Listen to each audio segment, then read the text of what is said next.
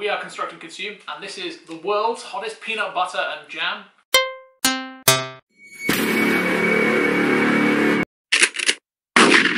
Jelly? Jam? Sandwich. So, the, Jelly peanut, jam. the peanut butter is made with four packs of Psycho Nuts. I'll put in a picture here. Ding, ding. And uh, yeah, we've, we've had this before. This is a reshoot, I will be honest.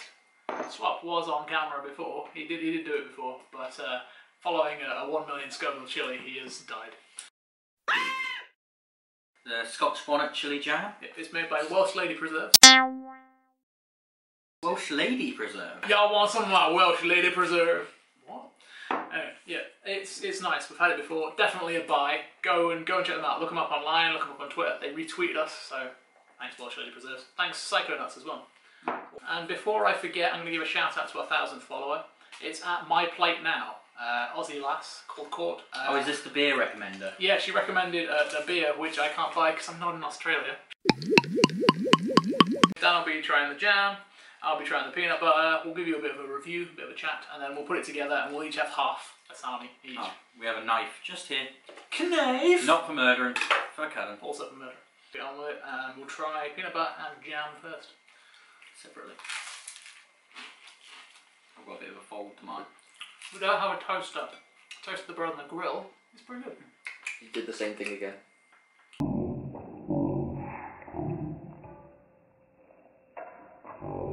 In our last take of this, I did exactly the same. How does he do it? Mm. Sweet and a pleasant spicy. This is good.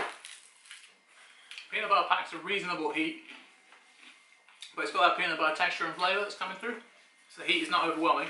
It's a very, very pleasant sort of heat, which is strange considering it should be somewhere around the million range because it's made with uh, ghost pepper powder on the peanuts and extract. I've got some million Scoville extract, which I'll put in a picture of here.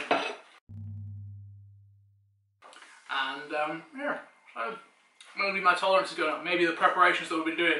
If you look back on our chili escalation video, jalapeno blew my head off. Ate hot sauce. no. Today I ate a million Scoville chili, supposedly. And I was okay. Oh.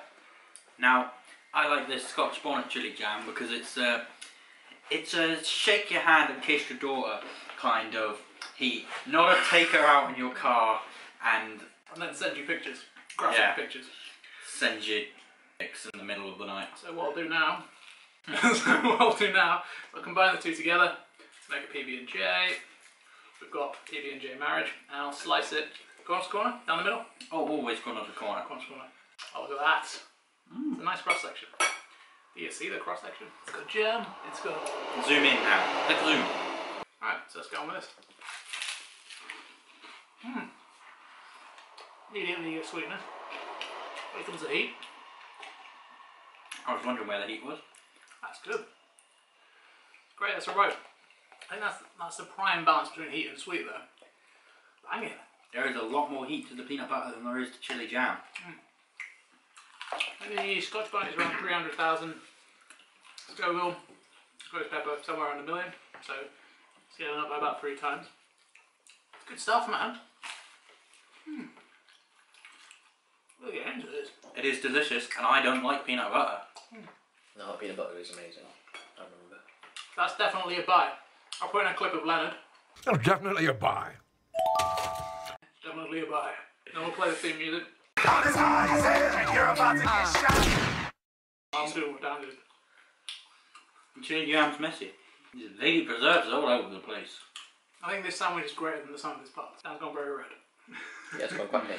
May I have your attention, please? Constructing a Student will be doing Movember to try and raise money and awareness of men's health issues.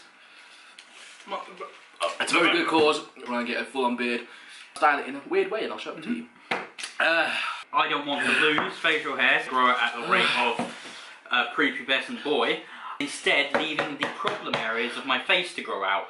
Cheeks, neck, monobrow, hideous facial hair coming up over this month. So I've got that to look forward to. Um, I'll put a link in the description so they can go and contribute and uh, just get involved and raise awareness.